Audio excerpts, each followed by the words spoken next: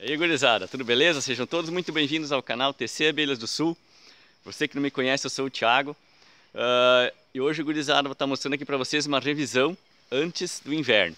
Essa, essa caixa ali, uh, não revisei ela desde, desde a safra, então eu vou estar fazendo uma revisão antes do inverno para ver o que fazer uh, antes do inverno. Agora nós estamos na, na, na entre safra, né?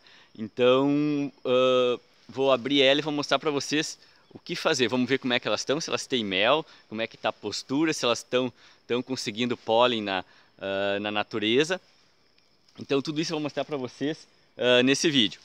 Uh, elas estão trabalhando bem agora, tá, tem um solzinho aí, tá, tá, tá quente, né? Elas estão trabalhando, trabalhando bem. Uma dica que eu dou para vocês agora tá, é umas 10 horas da manhã, Uh, e ó, tá pegando o sol, ali pega o sol da manhã, então se pegar o sol da manhã uh, na, de frente para para sua caixa, as abelhas quando amanhece o dia, elas já já saem para trabalhar. Então é uma, uma dica muito importante colocar as caixas sempre virada a, o alvado dela para o lado que que nasce que nasce o sol. E daí pega um solzinho aqui no inverno, beleza, dá uma esquentadinha na caixa, elas já já largam para o campo trabalhar. Tá pessoal? Então eu vou abrir a caixa ali e mostrar para vocês como é que tá esse enxame aí. Bom, gurizada, o que, que vocês têm que prestar atenção mais na, nessa, nesse tipo de revisão? Não é tanto a postura, a postura da rainha.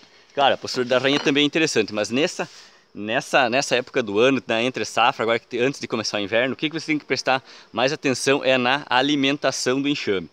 Por que na alimentação? Porque se não tiver alimento, você vai ter que entrar com uma alimentação artificial. Uh, então a postura da rainha provavelmente não vai estar tá muito, muito grande, não vai ter muita postura, porque a rainha é normal ela diminuir a postura nessa, uh, nessa época do ano. Então o que, que você tem que prestar mais atenção é na alimentação. Se elas não tiver alimento, você vai ter que entrar com alimentação, senão o enxame não vai conseguir, não vai conseguir passar o inverno. Isso é certo. Se, uh, você tem que cuidar nessa revisão é a alimentação, como é que é o enxame está de alimento, tá pessoal? Então vamos dar uma abrida aqui e vamos conferir. Esse enxame aqui tá, ficou com uma melgueira, uma melgueira só. Então vamos ver. Se tiver, se tiver mel aqui na melgueira, não vamos tirar a melgueira. Se não tiver mel, se tiver vazia, aí, bom, o que, que vamos fazer? Tirar a melgueira, né? Se não, não tiver uh, mel, não adianta deixar a melgueira. Para que, que vai deixar a melgueira se não tem, não tem mel? E agora elas até vão achar alguma coisa na natureza, mas é pouco, uh, não vão conseguir encher a melgueira de mel. Então o pouco que elas acharem, elas vão estocar no ninho. Beleza, vamos abrir aqui e vamos ver como é que tá.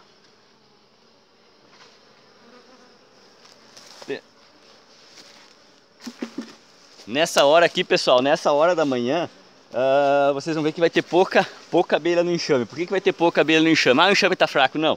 Uh, essa hora a maioria das abelhas estão no campo, então por isso tem pouca abelha aqui no, no enxame. Beleza, vamos, vamos ver como é que tá na melgueira. Primeira coisa, melgueira. Olha aí. Um pouquinho de, de néctar. Tá com um pouquinho de néctar aqui. Elas estão estocando, devem ter tá achando aí uma fonte de, de néctar aí na, na natureza. Não tem muito agora, mas mas, mas tem. Então elas vão estocar um pouquinho de néctar aqui na, na melgueira. Olha aí. Aqui já tem, olha, já é mel. Olha, respingou. É néctar que elas estão estocando. Ainda não é mel, mas estão estocando uh, um pouquinho de, de néctar aqui na melgueira. Beleza, então vamos deixar a melgueira. Não vamos, por enquanto, tirar a melgueira, até porque não vai dar um frio tão grande. Uh, tão grande agora nos próximos meses aí, mais é mês de junho, mês de julho aí que a coisa fica feia mesmo aqui no, aqui no sul. Beleza, então vamos tirar a melgueira e vamos dar uma conferidinha aqui na, na, no ninho, como é que tá.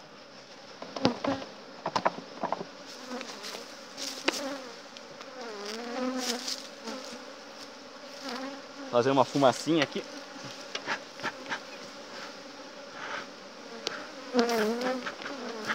E é isso que vocês têm que estar tá cuidando, gurizada. Deixa eu botar o ali. O que, que vocês têm que estar tá cuidando é a alimentação. Isso vocês têm que cuidar. Vamos tirar um quadro aqui mais da beirada. estão bem colados.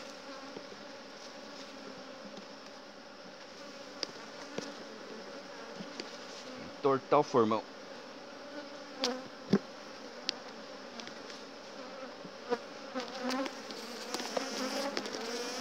É só o primeiro, depois os outros. Os outros saem fácil. Depois de descolar o primeiro aqui que você tira, os outros já saem bem mais fácil.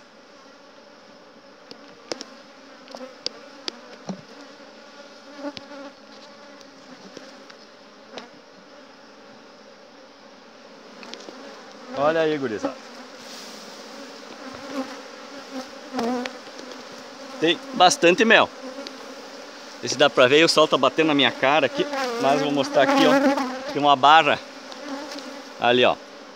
Uma barrinha de mel por cima. Ali já tem uma posturazinha da rainha. Esse enxame tem. Tá beleza. Vou deixar esse quadro de lado aí.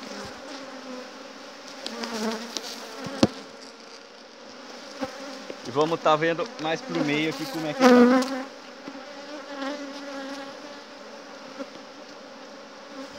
Olha aí, pessoal. Postura tá boa, muito boa. Aqui já nasceu bastante abelha. E ali tem umas por nascer. Olha aí. Até que tá com uma postura bem boa, pessoal. Por essa época do ano, tá beleza. Vou tirar mais um aqui.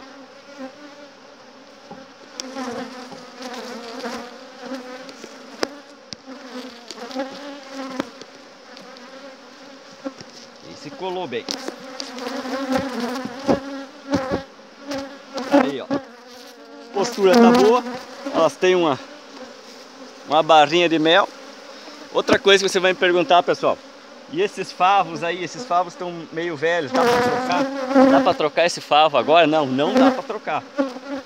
Não, não dá para trocar, principalmente agora, gurizada.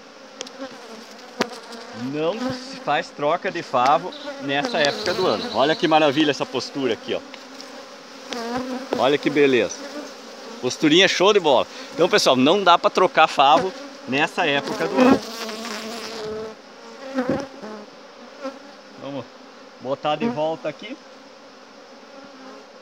Sempre gurizada, quando for mexer, mexer no ninho, sempre uh, mexer com calma, uh, porque você tem que lembrar que a rainha, a rainha está aqui, então uh, você pode aí, então se acontecer um acidente e você acabar matando a rainha, isso vai atrasar um pouco o enxame. Então, deixar esse fumegador do lado. Sempre trabalhar com calma, procurar não esmagar muita abelha. Sempre trabalhar na. Você vê que elas não estão muito defensivas. O chamezinho tá beleza. Aqui, pessoal, vou colocar o esse quadro, vou mudar ele de posição, deixar do jeito que estava. E é isso aí.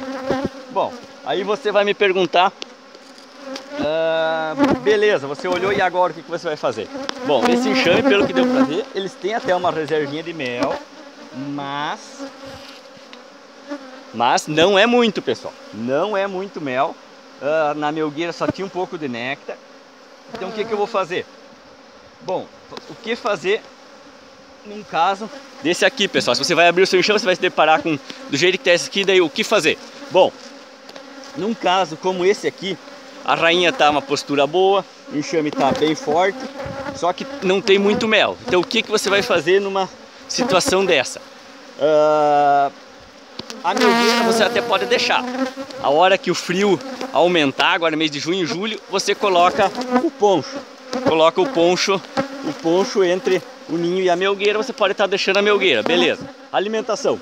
Alimentação provavelmente aí no mês, vou deixar agora nesse mês de mês de até o final de maio, vou deixar quieto, não vou alimentar. Mas mês de junho, quando começar a esfriar bastante, esse enxame vou ter que alimentar, pessoal. Porque tem, com esse mel que elas têm aqui, elas não vão conseguir estocar mais mel nessa época. Então esse aqui, com certeza, esse enxame vou ter que alimentar. Tá, pessoal? Então, só para mostrar aí para vocês que uh, nesse tipo de, de caso aqui, você vai ter que alimentar o seu enxame, principalmente aqui no sul do Brasil, onde o inverno é bem rigoroso. Se eu deixar elas aqui, pode ser até que elas consigam aguentar, mas provavelmente não iriam conseguir aguentar o inverno se eu não for alimentar. Tá, pessoal? Só para mostrar aí para vocês uh, como está esse enxame e o que fazer.